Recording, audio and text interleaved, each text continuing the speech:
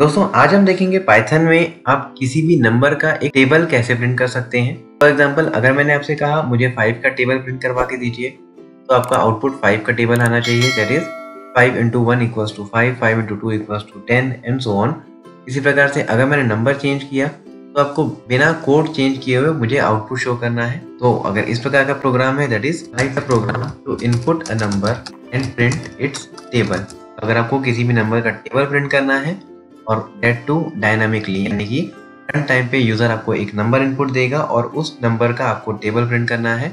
उसकी कोडिंग आज हम देखने वाले हैं। चलिए वीडियो को शुरू करते हैं बट उसके पहले चैनल को सब्सक्राइब करना ना भूलें।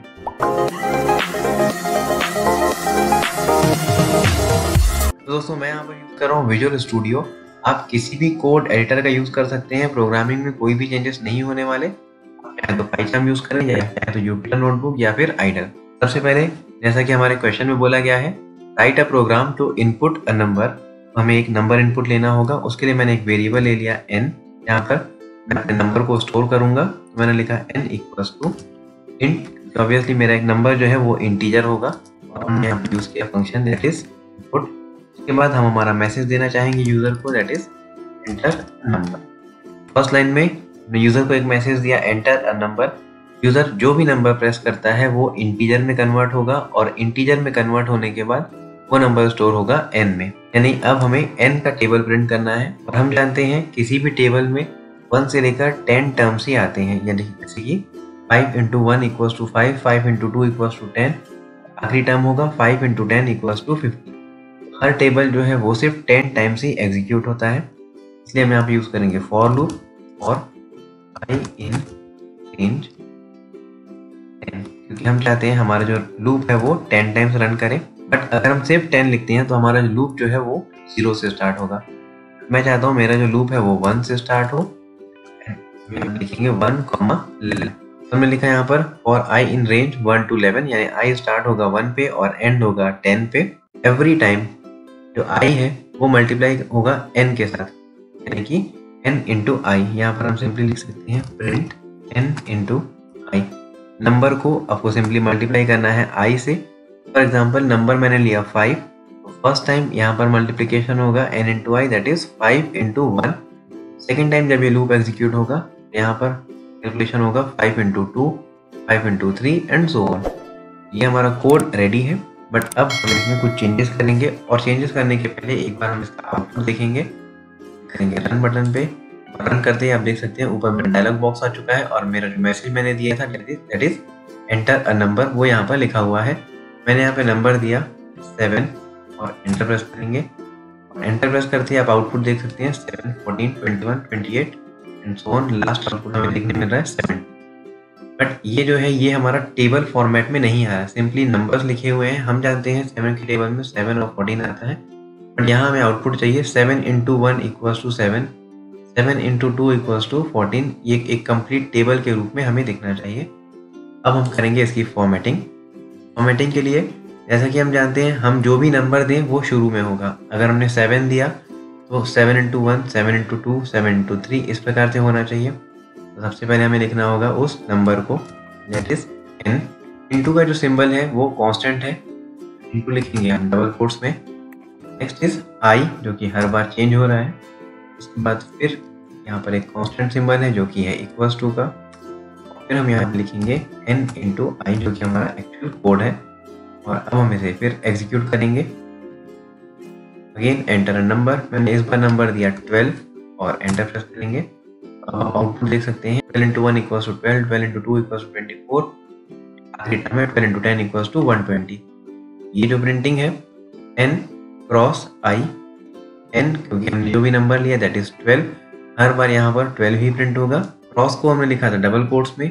ये क्रॉस काम कर रहा है यहाँ पर मल्टीप्लीकेशन का। क्योंकि आई एक लूप का वेरिएबल है, और इसकी value every successive loop change होती रहेगी वन से लेकर टेन तक। हम यहाँ पर देख सकते हैं one two three four and so on फिर आता है यहाँ पर इक्वल टू इक्वल टू भी सभी में कांस्टेंट है, इसलिए हमने उसे लिखा डबल कोट्स में। और लास्ट है n into i simple twelve into one twelve twelve into two twenty four तो इस प्रकार से आप कोई भी डायनामिक प्रोग्राम बना सकते हैं।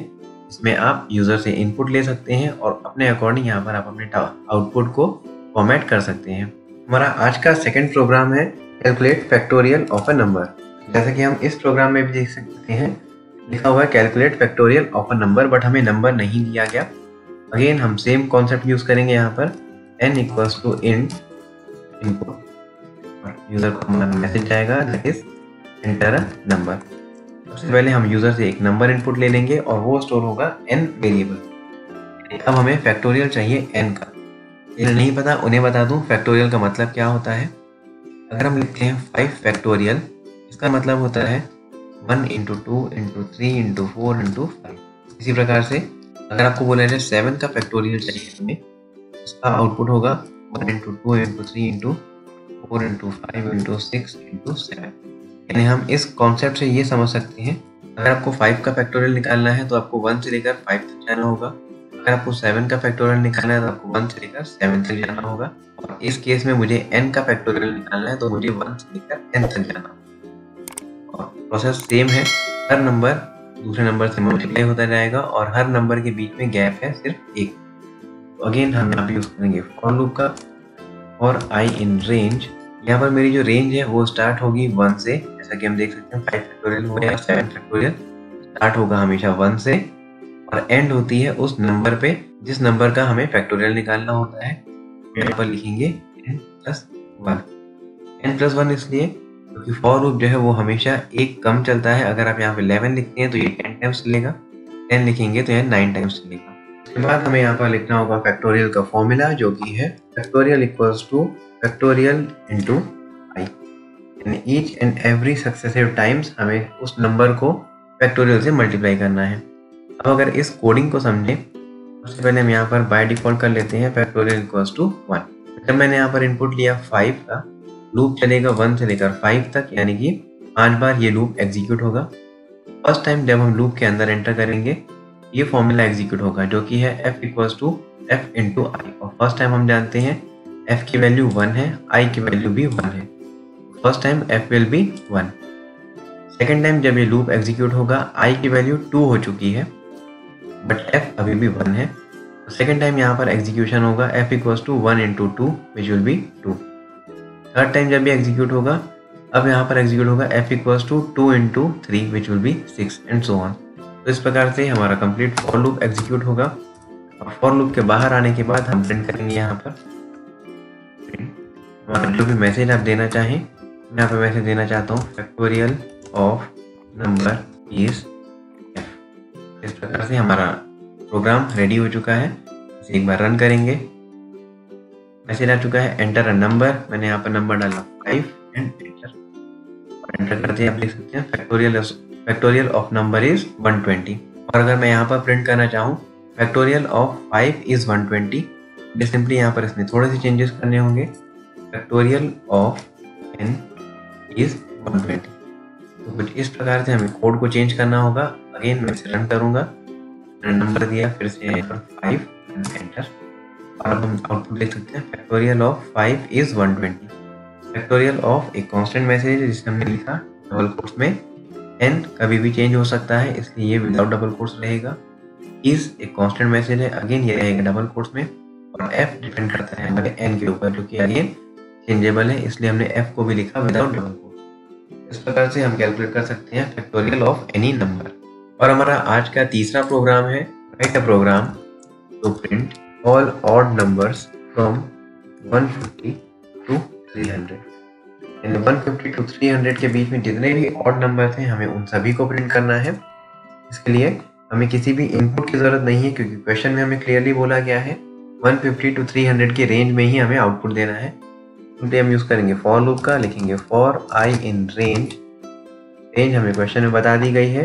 150 से 300 150 के बाद जो पहला ऑड नंबर है दैट इज़ 151 थ्री हंड्रेड के पहले जो और नंबर है, वो है टू नाइनटी नाइन बट हम यहाँ पर यूज़ करेंगे थ्री हंड्रेड क्योंकि मैंने देखा है फॉलो हमेशा एक स्टेप कम करता है। और कॉमा देने के बाद हमें यहाँ पर जो थर्ड चीज़ इस बार एडिशनल देनी होगी दैट इज़ स्टेप हम चाहते हैं 151 के बाद स्टेपिंग हो दो की तभी हमें दूसरा ऑड नंबर मिलेगा इसलिए हम यूज़ करेंगे स्टेपिंग ऑफ़ हमें प्रिंट करना होगा हम यूज़ करेंगे प्रिंट